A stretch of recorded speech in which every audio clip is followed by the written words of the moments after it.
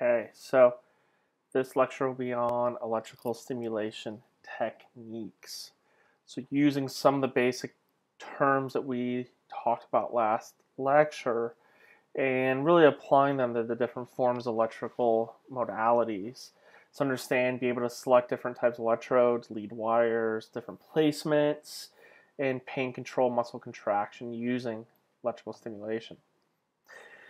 So primary effects of electrical uh, therapy are to the result of the depolarization of sensory, motor, or pain nerves. All right. In this chapter, we will learn how to adjust the parameters to obtain our therapeutic goal. Really to create the optimal environment for healing to occur. Your body circuit contains excitable and non-excitable tissues. Excitable tissues would be nerve, muscle fibers, cell membranes. These are influenced directly by electrical current. Non-excitable tissue, bone, cartilage, tendon, fat, ligament do not respond to current flow and may be indirectly influenced by electrical fields caused by the current, but they're not influenced directly. Nerve, muscle fiber, and cell membrane are the excitable tissues. And remember, uh, electrons and electricity flow in the path of least resistance. Amperage and voltage must be sufficient to overcome the res total resistance of a circuit. We have something called electrical uh, electrode leads. These connect the electrodes to the generator, then transfer the current to and from the patient's tissues. So if you look at electrical stimulation unit, these are the lead wires that plug into the unit in one end and then have bifurcation typically and go out and plug into the electrode pads that are attached to the patients. Right? So two leads are required to complete the path. They can be bifurcated, allowing for multiple pairs to be attached. Um, these are actually regulated by the Food and Drug Administration, FDA. Um, you must have jacks or plugs that prevent unintended contact between the patient and the power source. So these are bifurcations. This picture of, a, of an electrode uh, lead. Each one of these is a lead. All right, they have bifurcations. So this is probably channel one and channel two. Right, or channel A and channel B. It depends on the manufacturer of the unit. So the part you can't see here would actually be plugged into the machine. And then these guys get plugged into the electrodes that then get put on the patient. Yeah. So these, whoa, whoa, whoa, whoa. These are photos of, this is a photo I should say, of different electrode uh, jacks. So the one on the left here, this is actually not the kind that you see very much anymore because this um, plug, if you accidentally walk past and you, you hit your foot or hit your arm on the electrode lead, this would actually unplug pretty easily from the unit and can cause some actual serious electrical issues for that patient.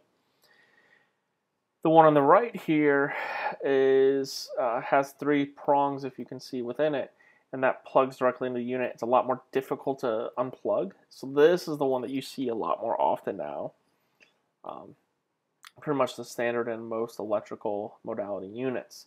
So let me back up here and click on, uh, oh, that's the video uploaded to YouTube, electrode, uh, electrical modality unit. This is a modality unit. This is an electric or Intelect uh, Legend system from Chattanooga. Chattanooga is the, probably the most common company that you see. This itself is the base unit.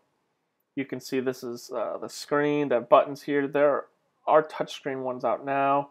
Um, yeah, so you can turn on the unit, select what type of stim you want to use, and then go through all the parameters. Right. These are kill switches in case the, you have a the patient has an issue. The electro leads, of course, are not on here. Um, these things range in price from anywhere, um, you know, a thousand bucks to you know seven, eight thousand dollars. So they're not very cheap. So that lead wire plugs into an electrode. The electrode is formed of metal or carbon impregnated silicon or rubber. This introduces the current to the body uh, from the stimulator unit, so the, the generator unit, via electrode leads, forming a closed circuit, depending on the form of stim, right? When electrodes touch the skin, that is where the ions are charged. Ion flow consists of positively charged sodium and potassium, right, moving towards the negative pole and negative ions. Chlorides move towards the positive pole.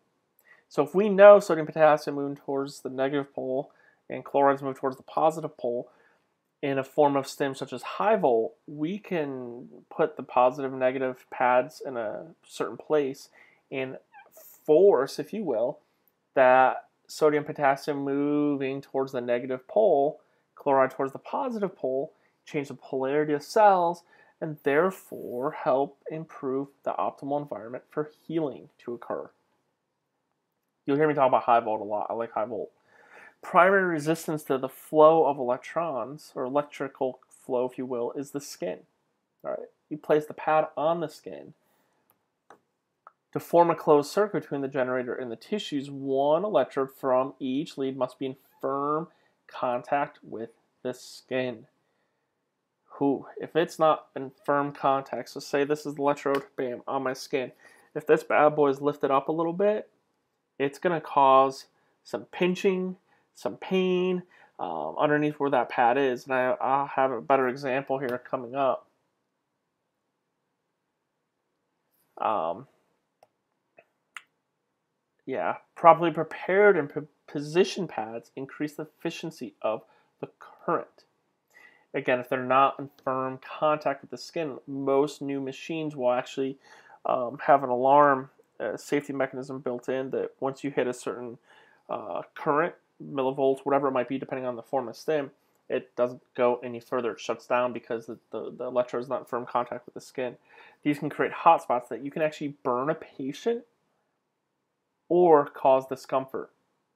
You can give the patient a little electrical burn and a blister. When I worked in West Virginia, one of the athletic trainers I worked for, uh, not for, worked with, actually gave an electrical burn to a football player that she had hooked up on stim. I worked football, but I did not. I was busy with doing something else with another patient, and she hooked him up for me. And then she ended up causing an electrical burn. It was on the low back, huge blister. Um, not good, right? So resistance, right? We have the stratum corneum and the electrode. As thickness decreases, resistance decreases. So as thickness of the skin decreases, the resistance decreases as well. We have something called parallel. This is formed as ions pass through portals in the skin, glands, pores. Right? Water, gel, or self-adhesive electrodes efficiently transmit current to the skin. In my next picture coming up here, another slide or two, we have these things I'll show you carbon electrode and self-adhesive electrodes. The carbon electrodes deliver the most current at the lowest impedance, about 200 ohms of resistance, but you almost never see carbon rubber electrodes anymore. Um, one of our clinical sites at a high school up in Vermont, um, he still uses the carbon electrodes. His modality machines probably from, uh, I'm not even kidding, 1981, 82 it is old. It barely passes inspection or calibration every year. It scares me. Um, but he still uses the carbon rubber electrodes. Most places use the self-adhesive electrodes, the most common, right? Conductive gel is part of the electrode. They produce more resistance to electrical current flow. It becomes uh, more uncomfortable during treatment and increased burning sensation um, depending, right? So self-adhesive electrodes are awesome when they're first bought and you first put them on brand new out of the package for the first time. After a few uses, though, depending on the brand, um, they lose their stickiness and they're not as good. I feel like most self-adhesive electrodes nowadays kind of suck. Honestly, you might get five uses out of them.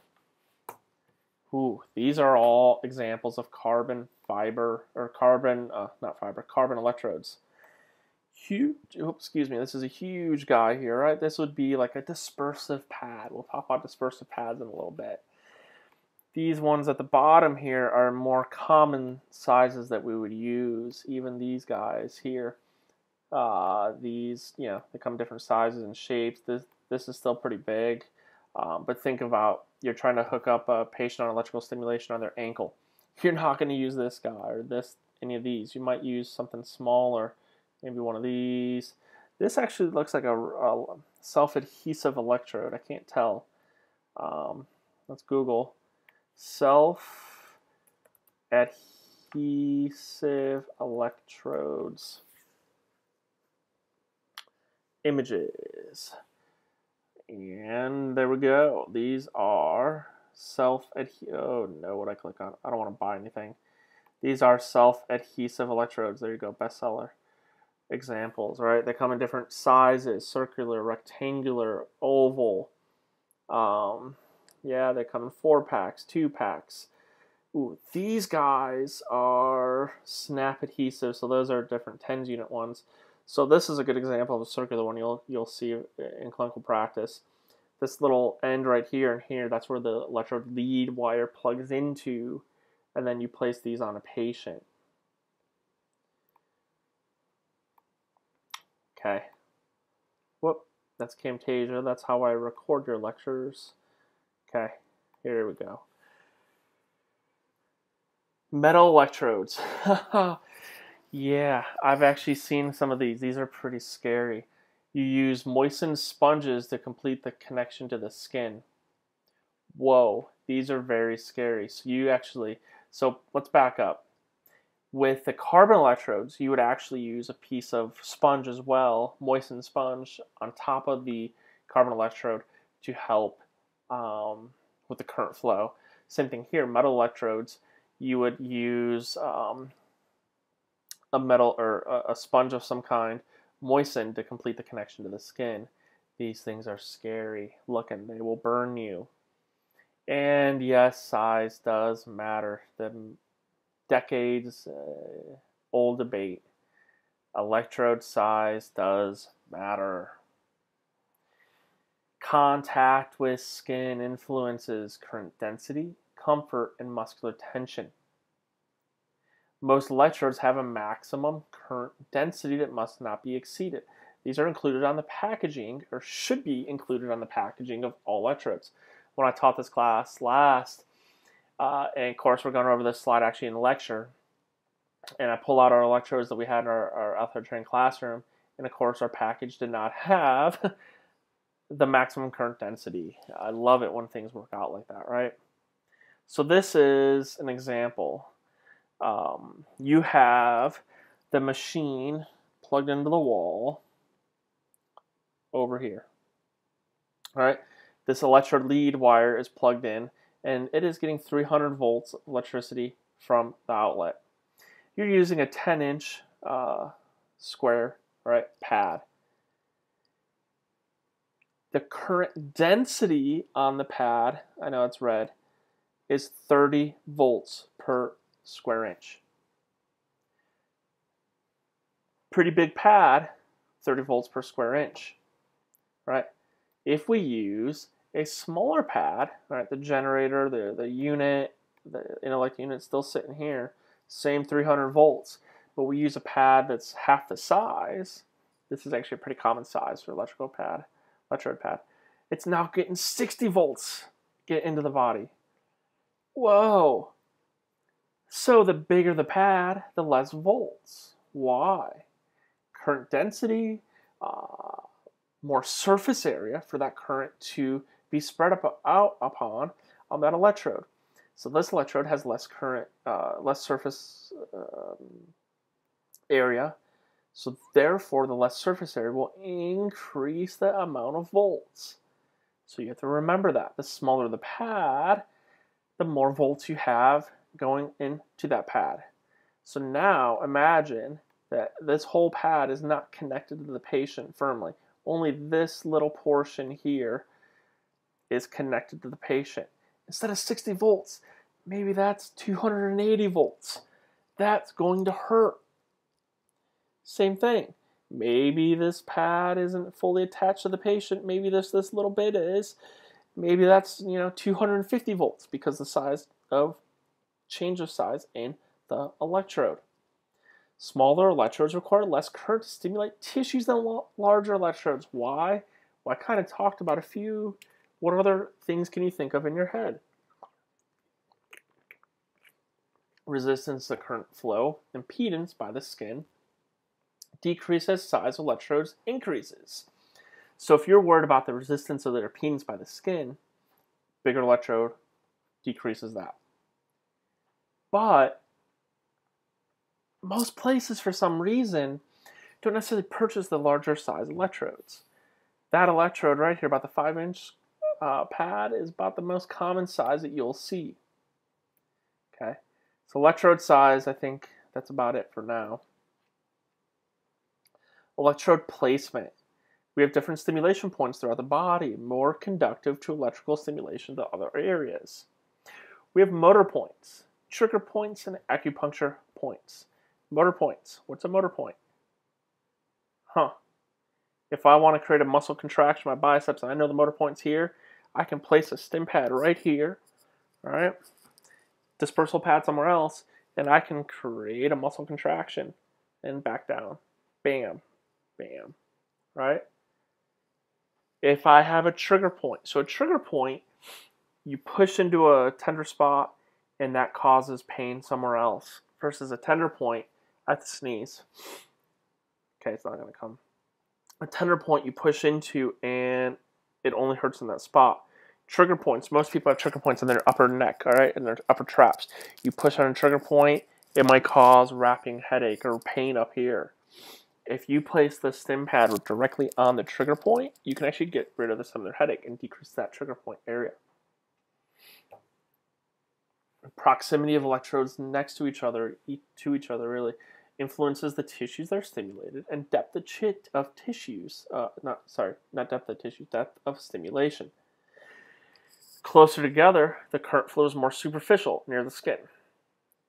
Further apart, depth is increased. As distance is increased, depth is increased. All right. If we know the direction of muscle fiber, current is four times more conductive. So if we place it going with our biceps, muscle if we place the pad going this way, right, versus this way. If I do it this way with the muscle fibers, four times more conductive.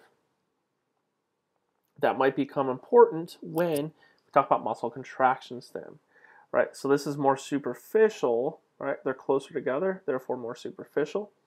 They're further apart, therefore it goes a little deeper. Okay. Bipolar technique. This involves use of electrodes having equal or near equal size.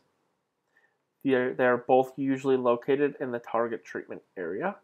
Since they're equal, equal amount of stimulation should occur under each electrode. So if our goal is to reduce motor point pain, would both electrodes be over or just one? Really just one, right? if you have one motor point, you'd place one electrode over the motor point. If your goal is to elicit muscle contraction, I would actually find both motor points for that muscle. So I know the biceps, right? Biceps brachii. This flexes my elbow and supinates.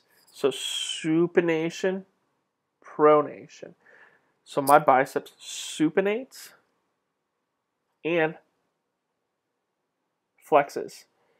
So I also know it goes from my radial tuberosity up here to my intertubercular groove, my uh, my, my uh, labrum. I could place one at the origin, right? And then I can place one directly in the muscle belly to try to get a stronger muscle contraction. This is a photo from the book. It's a weird photo. They have electrode A, lead B, and you hook them up. Yeah, you don't need that. Two pad placement for bipolar, right? Bipolar, two pad placement. Monopolar technique involves classifications of electrode, two classifications of electrodes. One or more active electrodes placed over the target tissues, and a dispersive electrode used to complete the circuit. Without that dispersive electrode, you do not complete the circuit and you will not feel the stim. Typically, with monopolar technique, you have one pad placed over the tissue you want and then the dispersive pad somewhere else. The surface area of the dispersive electrode pad is large, at least two and a half times larger than the total area of the electrode, active electrode. So if I go back, back, back, back, back, back, back, that big boy right there would be a great dispersive pad. We typically see this one being used as a dispersive pad. Monopolar technique. The active electrode is placed on or near the target tissue. So say I'm doing my quadriceps. I place the pad right on, the active pad right on the spot I want on my quadriceps. And the dispersive pad is placed elsewhere, either opposite muscle group, my hamstrings, or my low back, my belly, wherever it might be. That high current density focused treatment, TX, treatment affects under the smaller electrode. This photo is actually showing two active electrodes versus just one. And you can do that if you choose to. I think the more common method is the one active electrode. Quadrupolar techniques, four pad, quad, four, right? Involves the use of two sets of electrode, each from their own channel. Essentially, this is concurrent application of two bipolar circuits, and this is classified as interferential stimulation or IFC, interferential current. Your channel 1, lead A, lead B, channel 2, lead A, lead B. Electron flow is flowing between these two pads. The movement of current, once electrical current enters the body, the movement of ions replaces the flow of electrons. Ions move away from the pole having the same charge, right? Opposites attract, like charges repel. That is Coulomb's law move towards the pole having opposite charge. AC or pulse biphasic current is used. Uh, the ions move between them. So if I'm using alternating current or the pulsed biphasic current, ions move between them. If, D- if DC current is used, all right, bam, bam, ions only move in one direction. Hmm. So if I want to deliver medication through the pad or electrode, right, that makes sense to use DC current. I place the electrode on where the pain is, the tendinopathy, usually like tennis elbow, like lateral epicondylitis. Pad right here. Bam. Dispersive pad somewhere else. Hook it up. That electrical current's only going into the elbow, not back into the machine or back down here. It's going into the elbow. Right? Ooh, nerve fibers. Ah, remember that handout I gave you on Blackboard? Stimulation of nerves. I like these A beta, A delta, and C fibers. You need to know the diameter, uh, conduction velocity, but stimulus level for depolarization. To stimulate an A beta fiber, it's a pretty low level of depolarization needed. A delta and C fibers are high though. All right. So understanding these A beta, A delta, and C fibers is actually pretty important. I have the handout. Uh, I'm not gonna. It's uh, on Blackboard. We did it last week during some pain. We even did it during yeah, pain. I guess it was, um, and even did it during pathomechanics of healing. So nerve types are depolarized in an orderly, predictable manner in response to electrical stimulation is ba- based on three factors. One, diameter of the nerve, so size of the nerve. Two, depth of nerve rel- relative to the electrode. And last, the phase duration of the current. Sensory nerve fibers are always stimulated first, followed by motor nerves, and then lastly, pain fibers. So if a patient is having pain, right, I can hook up a form of stimulation to them, electrical stimulation, to try to stimulate, uh, override their pain fiber to decrease their pain. You get some dopamine release and norepinephrine all those different things as well. But essentially, we're trying to stimulate, override that nerve fiber to decrease their pain. Only after those structures on the, the previous slide reach the depolarization threshold, then electrical current can directly affect muscle. Large diameter nerves are depolarized before uh, smaller diameter nerves. So if I look at this, large diameter and low, therefore my A beta fiber, right, is going to be uh, depolarized before my C fiber. Don't C fibers carry dull pain, right? Hmm.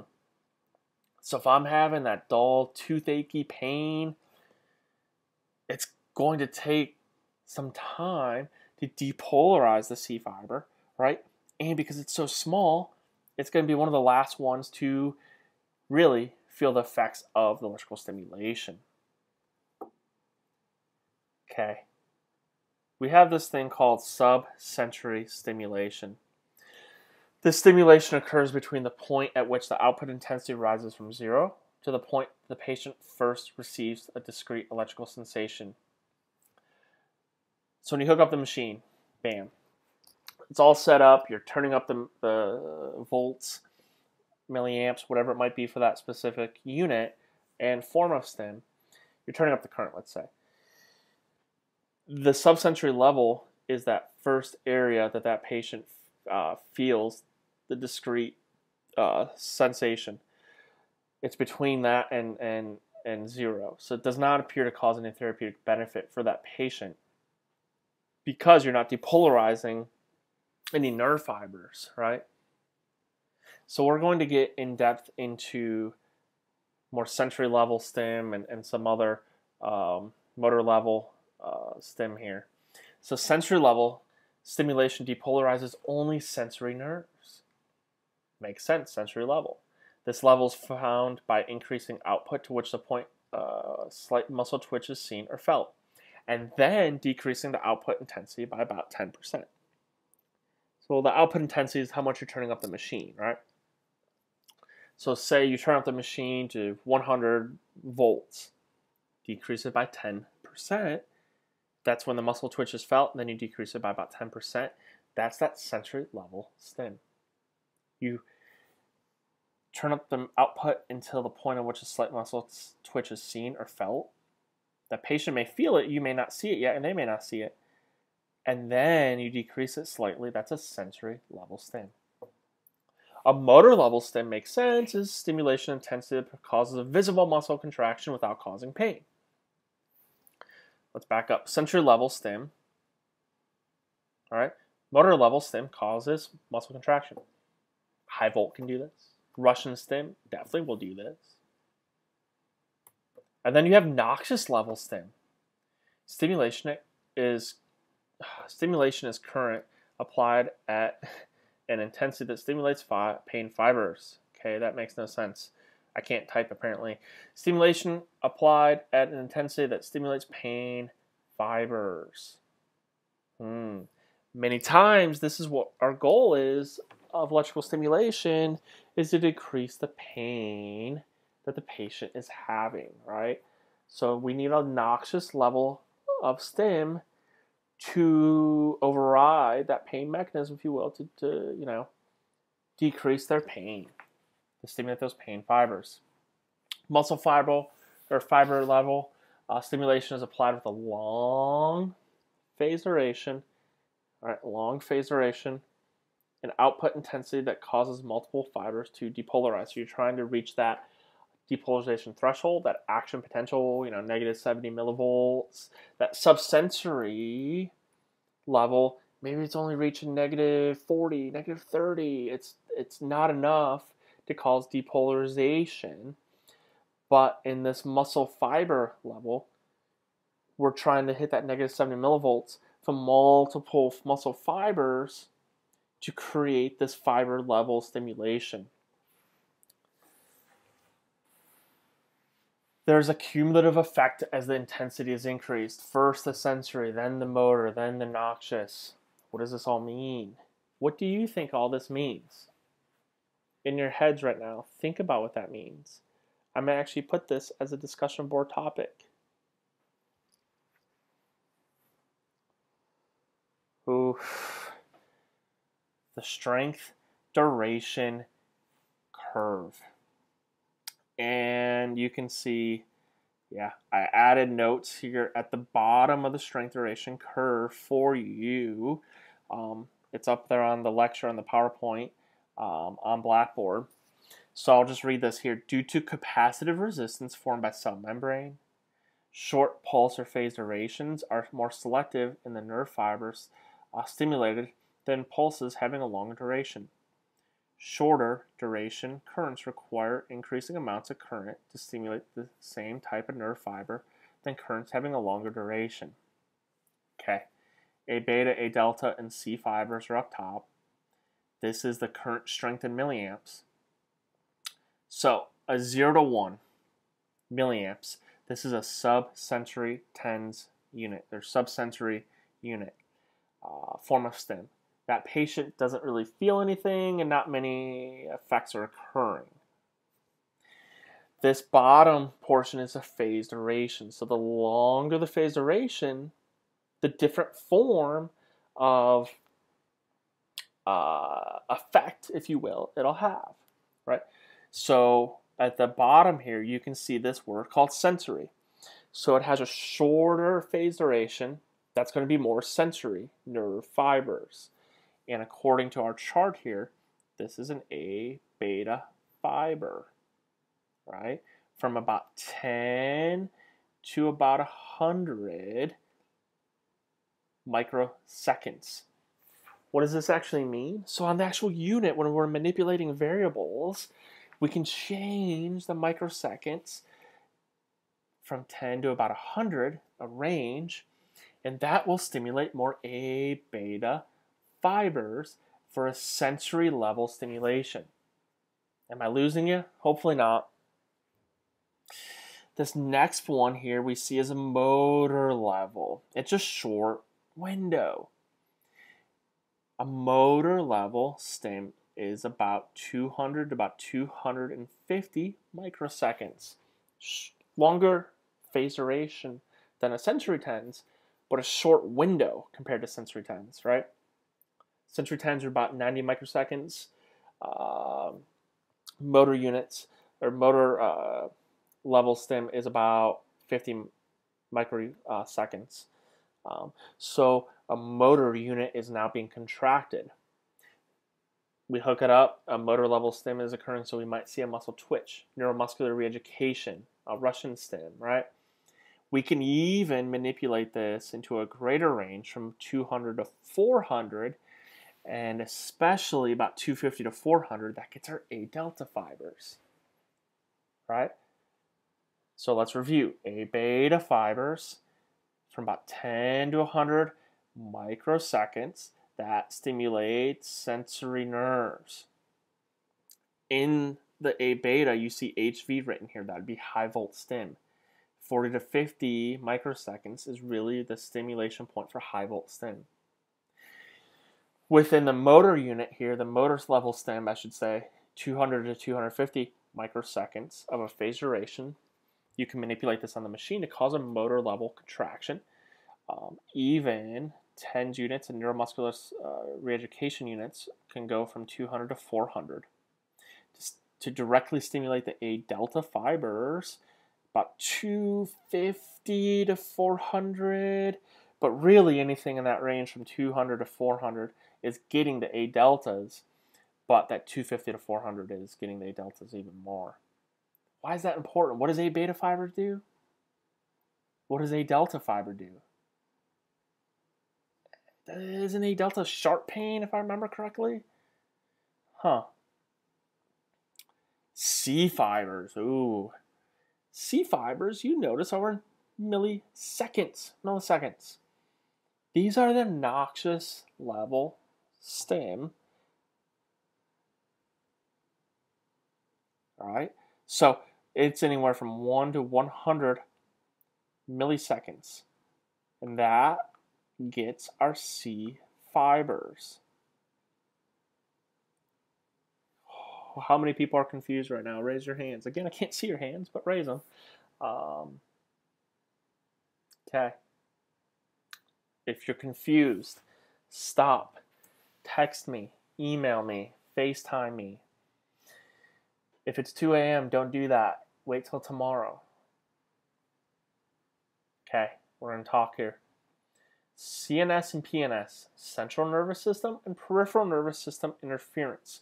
When cell membrane remains unchanged, the resting membrane uh, potential of the membrane rises above its pre-stimulus level.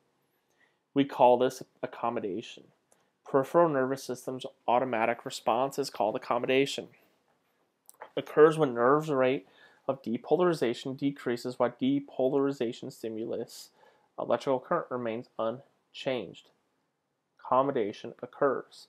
That patient, you hook up the stim, it's going on them. next time you hook them up, well, maybe you have to turn up a little higher. That's why. Accommodation. Habituation. Hmm. This is actually from my class last semester. Habituation is the central nervous system process of filtering out a continuous non-meaningful stimulation. That stupid noise in class every day at 9:15 a.m. Oh, I hate this noise. In our classroom, outside our classroom, I should say, literally, I taught this class Monday, Wednesday, Friday. Our trash company picked up trash every Monday, Wednesday, Friday at 9:15, and the trash, uh, you know, receptacle bin was outside our classroom window. So every day at 9:15, we would hear the beep, beep, beep of the truck backing in, then the noise of it getting dumped into the truck. I would hear it and I'd get annoyed being the you know faculty member up in front of the class talking, but the students actually started filtering this out. They didn't realize this when I talked about this in class that they were habituated, if you will. Right? Habituation accommodation occur during the application of an electrical modality. Let's say you hook up the patient, you turn the stim up very high, walk away. Five minutes later, you come back and ask, Are they okay? Can you turn it up? Most will say yes. 90 95% of people will say yes. Why? Accommodation, right? Occurs, nerve rate depolarization decreases, stimulation remains unchanged and habituations filtering out unwanted or, or un, non-meaningful stimulus. Accommodation, habituation. Bam. I feel like I'm Emeril Lagasse every time I say bam. Okay, medical galvanism. Galvanic stimulation is the application of low voltage direct current to the body. You know the polarity under each electrode. The pH of tissues, excuse me, under the cathode becomes basic pH levels. Hmm. If it becomes more basic, you actually increase the risk of a chemical burn with a direct current.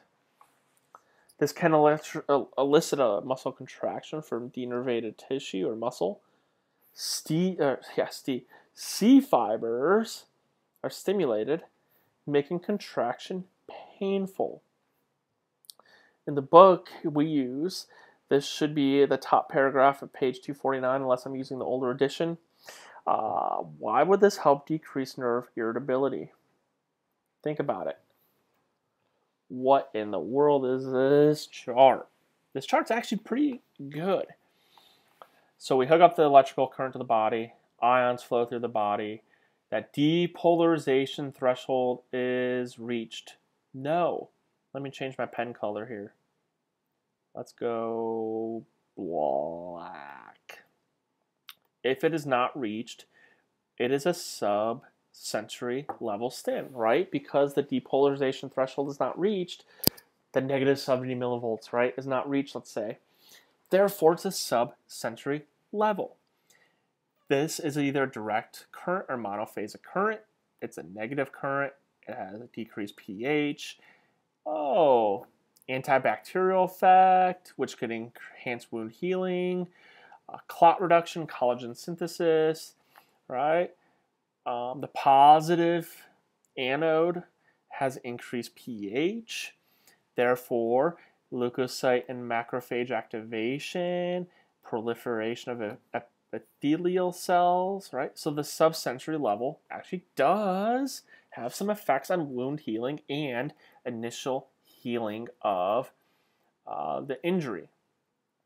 I went back to clear the, the, the pen, pen color, black, cool. So then if I do a, if the depolarization threshold is reached and I turn the stim up to a sensory level, depolarization of these A beta fibers, the phase duration, excuse me, between 10 and 100 microseconds. We can have high pulses per second, a long treatment duration, 30 to 60 minutes. This activates that substantia gelatinosa. Isn't that part of the gate control mechanism of pain? Yes, it is. This closes that spinal gate, so it's not a second order, right? Doesn't go up to the central nervous system, the, the, the higher brain centers, I should say. And that in turn causes pain reduction. Essentially, that's a gate control level of pain, gate control theory of pain. If we hook up the stim to a motor level, this causes depolarization of these type 2 motor neurons phase duration between 200 400 microseconds.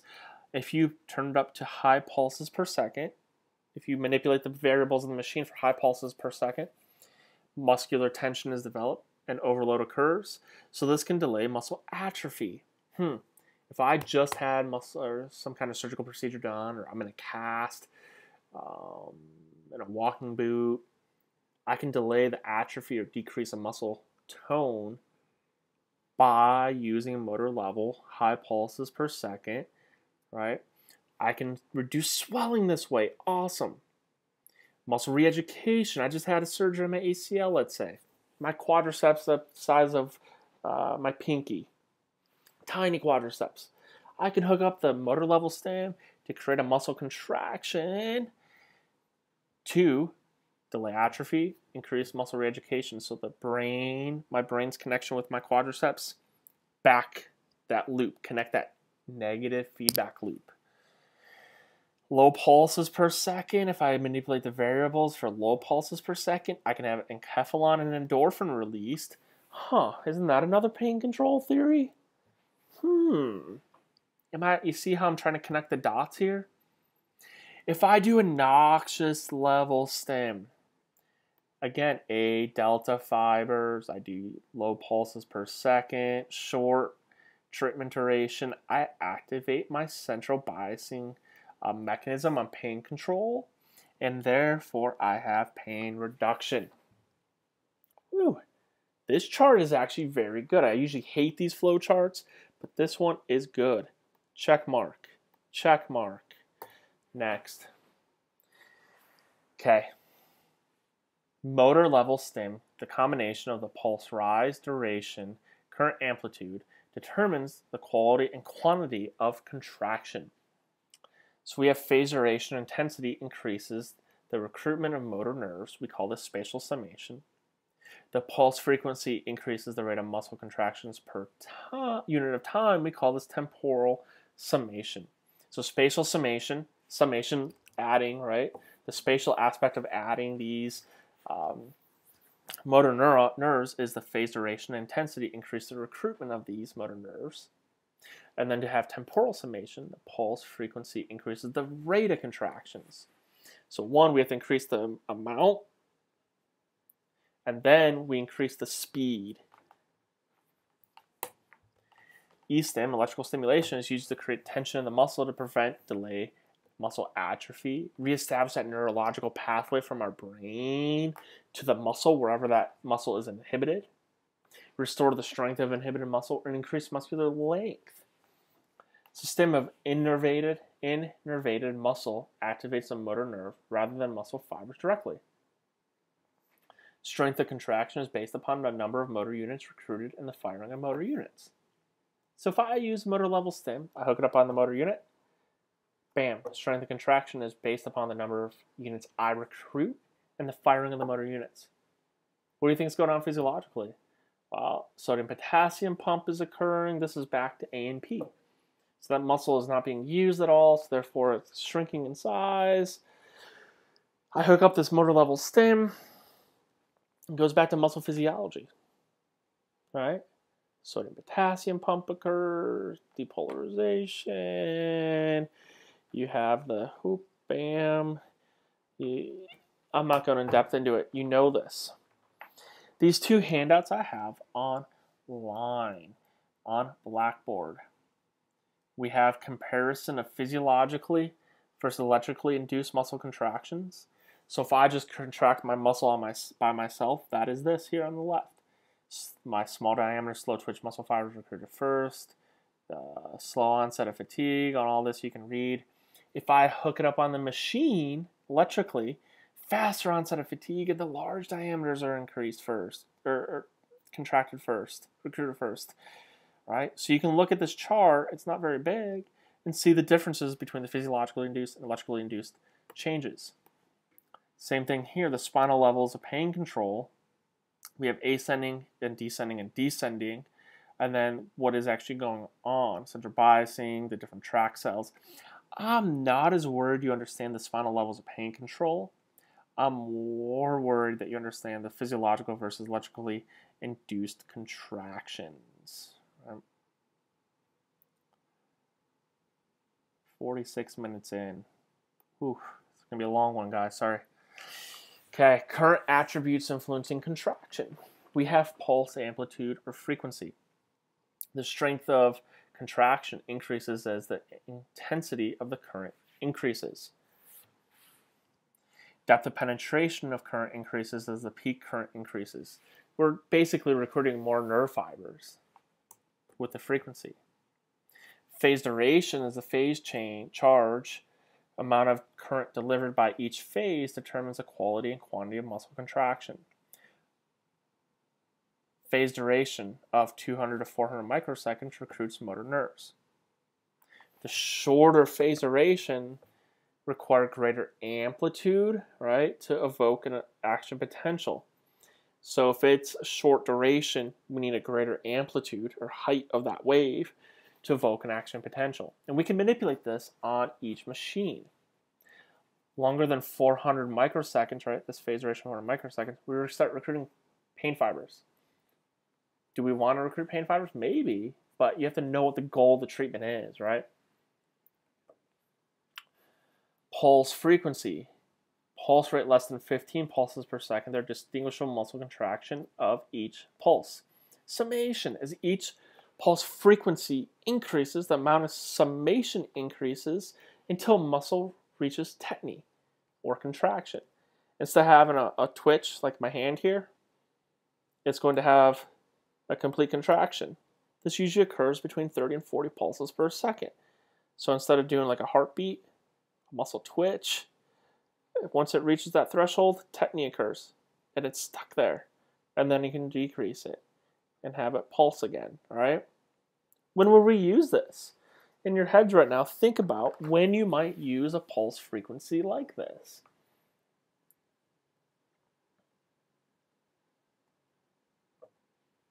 Ooh, here you go. If we have low twitch, low pulses per second, right?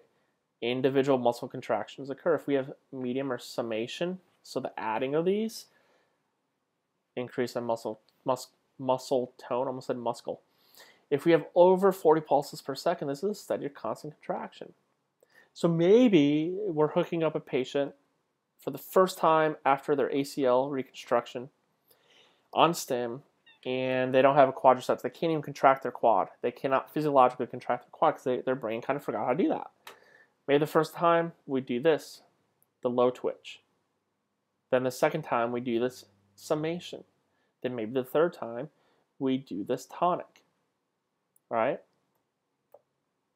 This neuromuscular reeducation involves teaching, right, a muscle how to contract again. We're establishing that neural feedback or neural pathway to restore voluntary contraction. We do this with a low duty cycle and ramping. Remember, up and then back down. The low duty cycle allows muscle to relax, recover between contractions. The pulse frequency is usually 60 pulses per second. And guess what? You may actually have some DOMS or delayed onset muscle soreness after strength augmentation. we really don't use stim for this much. Pain control. This is the bread and butter of stim, essentially. Electrical currents are used to reduce the amount of pain, assist in either the healing process or affect the transmission and perception of pain. You'd have you'd have high pulse frequency, short phase duration, sensory level currents that activate the gate control mechanism pain modulation, stimulating sensory nerves close to the gate of the transmission of pain. So in this lecture, we're not going over, okay, this modality should be set at this and this setting and this setting. That's next lecture on clinical application of electrical modalities. If you use a low pulse frequency, a moderate pulse duration, and high intensity stim, noxious level stim, this releases beta endorphins. It's like that runner high thing, right? The anterior pituitary gland and, and, uh, is releasing endorphins, and enkephalin is released from the spinal cord, causing that pain relief. This is like the endogenous opiates. You can get addicted to stim, and this is why. we're essentially creating a high for that patient if we use this form. High pulse frequency motor level stim triggers the release of enkephalins. I've seen that before. Initial phases of pain control electrical currents stimulate the dorsal horn of the spinal cord. This causes a decrease in nerve conduction of small pain carrying nerves that reduces the amount and rate of noxious impulses up the spinal cord and right to the brain. Large motor nerves decrease nerve conduction, uh, decreases amount of pain producing muscle spasm in the treated area. So now that pain spasm pain cycle, now if we stimulate the large motor nerves, we're decreasing the amount of spasm, which in turn decreases the amount of pain, which in turn decreases the amount of spasm. So we break that pain, spasm, pain cycle. Awesome chart. Know this chart. I'll put this on your next test, which is at the end of the next week. Sensory level, motor level, and noxious level approaches for stim for pain control. If we use a sensory level pain control, we're stimulating the target tissue of A beta fibers. You can see the phase duration, the frequency, and what intensity that patient would feel it at. Submotor, because it's a sensory level, right? Sensory level, they're not really feeling much. So this phase duration of pulse frequency, we should be able to manipulate on almost every electrical stimulation machine. I don't ever say every machine because some manufacturers have it preset that you can now actually adjust some of these different variables. If we want to target motor nerves for motor level pain control, phase duration. You can see the pulse frequency, either very low, 2 to 4, or 80 to 120. And then they should have contraction, right? And then the noxious levels, them, A delta and C fibers, we're, we're getting at. And as painful as can be tolerated. So what that means is, okay, I'm to turn up the machine. Tell me when you can begin to feel it. I'm to turn it up so it causes a little bit of pain. Once you begin to feel it, tell me. Okay. Now I keep turning it up. Tell me when it becomes painful. Once it becomes painful, I have them tell me.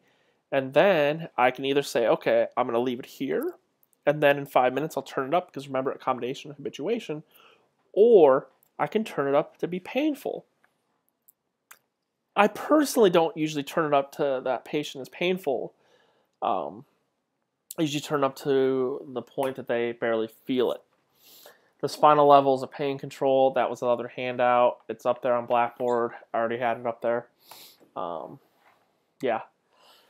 Blood flow. What is muscle electrical sorry electrical stimulation due to blood flow?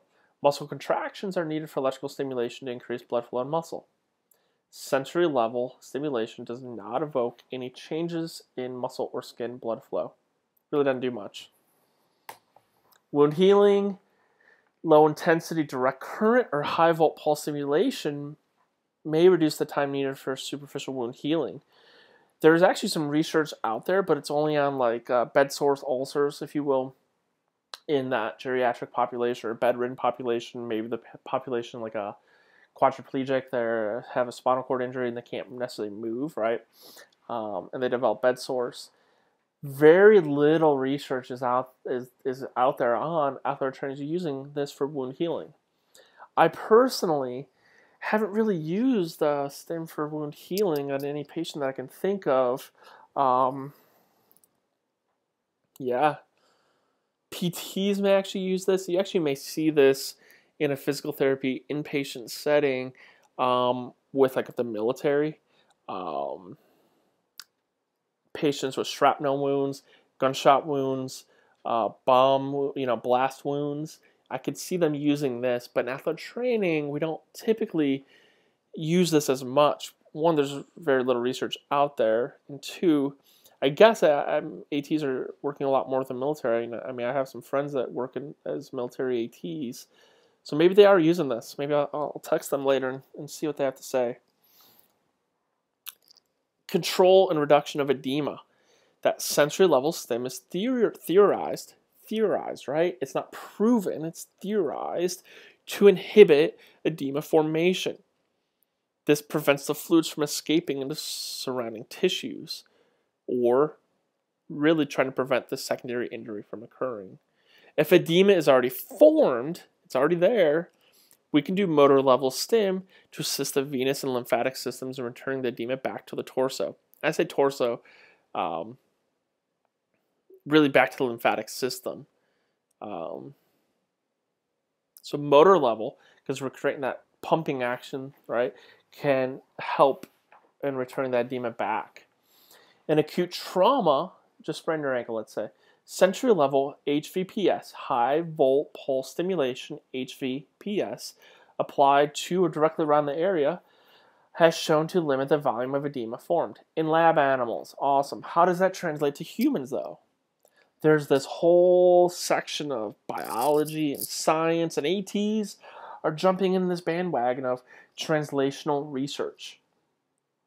We, as clinicians, create questions that can be answered in a biology lab with animals, right? Using this, and then in turn, the lab bench researchers can give us answers for clinical practice or give us questions that they may have right? In the clinical aspect. So it's translational research. It goes both ways from bench, the science lab portion, to bedside, the clinical aspect. Attempting once, uh, let's get back to your essential level of edema control. So attempt uh, once edema is formed may inhibit further reduction, but we don't necessarily know. And it could be per patient. You could still try this on a patient, but uh, you don't know if it'll work right? I think I've had some success using high volt stim with swelling, but maybe that I'm, I have a skewed opinion. I don't know. You have to keep an open mind with a lot of these different forms.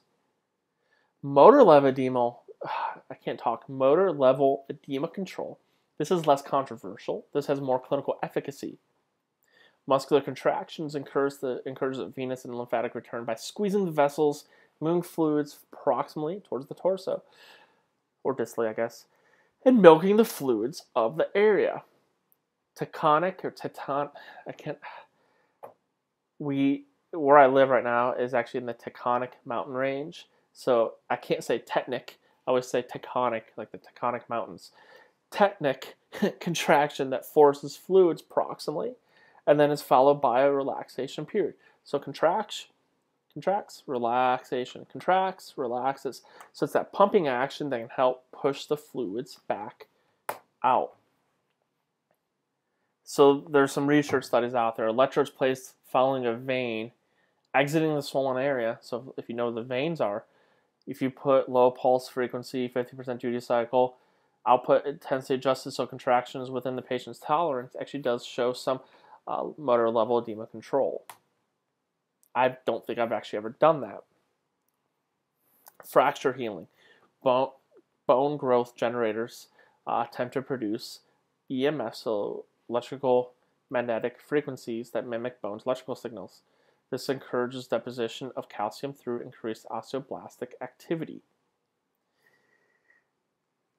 we'll talk about ultrasonic bone growth stimulators later in ultrasound. Fracture healing with stim, not much. All right, you're going to have bone stimulators, the ultrasonic or, or LIPUS, low intensity pulse frequency. These are some contraindications of electrical stimulation. There's a lot more in your book. This is why we would never use stim, all right, on this patient. If they have a cardiac issue, pacemakers.